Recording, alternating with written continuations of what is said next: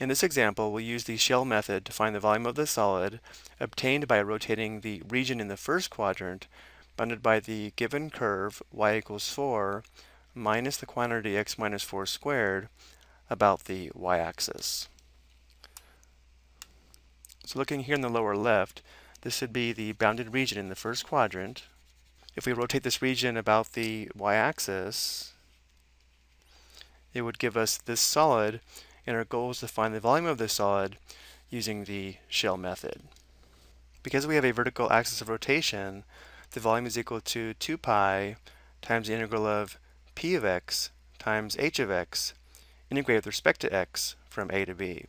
Before we talk about what these before we talk about what p of x and h of x represent, it's always helpful to sketch a representative rectangle that if rotated about the y-axis would represent the approximate volume of one shell of our solid.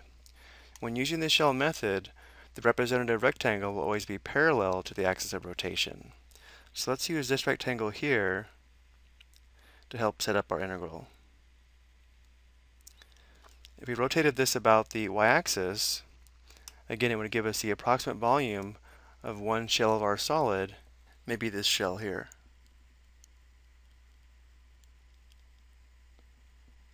Notice how the width of the rectangle would be delta x,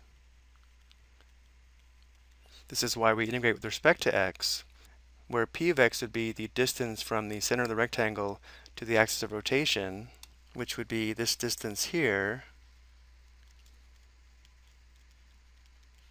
and h of x would be the height of the rectangle, which would be this distance here.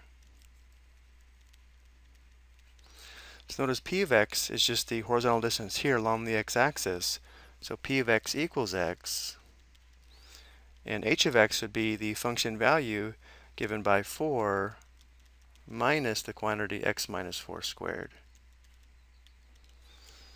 And now we have all the information we need to set up our integral to find the volume. The volume is equal to 2 pi times integral of p of x, which is x,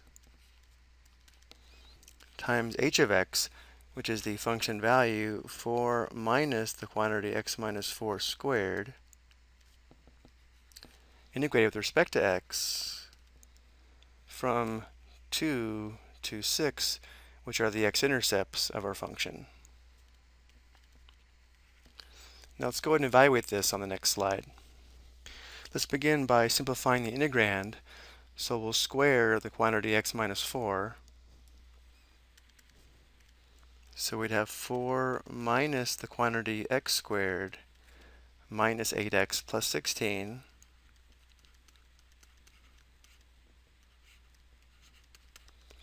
Let's go ahead and clear these parentheses and combine like terms. So notice how we have 4 minus 16, that's negative 12. And then we'd have minus x squared plus 8x.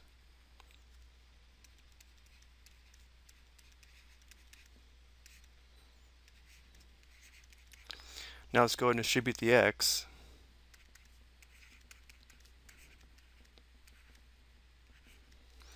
So we'd have negative 12x minus x to the third plus 8x squared. Next we'll find the antiderivative. The antiderivative of negative 12 x to the first would be negative 12 times x to the second divided by 2 minus the antiderivative of x to the third would be x to the fourth divided by 4 and then plus 8 times the antiderivative of x to the second which would be x to the third divided by 3. Let's go ahead and simplify this. So we have, this would be negative 6x squared. Let's write this as minus 1 fourth x to the fourth plus 8 thirds x to the third. Now we'll evaluate this at 6 and 2 and then find the difference. So when x is 6, we'd have negative 6 times 6 squared minus 1 fourth times 6 to the fourth plus 8 thirds times 6 to the third. And then when x is 2, we'd have minus 6 times 2 squared minus 1 fourth times 2 to the fourth plus 8 thirds times 2 to the third. To save some time, I've already simplified this. It comes out to 2 pi times this quantity here simplifies to 36 minus this quantity here simplifies to negative 20 thirds. Notice how this becomes plus 20 thirds. So we end up having 2 pi, I'll write 2 pi over 1 times, this works out to 128 thirds. Nothing simplifies here, so the exact volume would be 256 pi divided by 3 cubic units. Let's get an approximate volume as well. We have 256 pi divided by 3. If we round to four decimal places, this would be approximately 268.0826.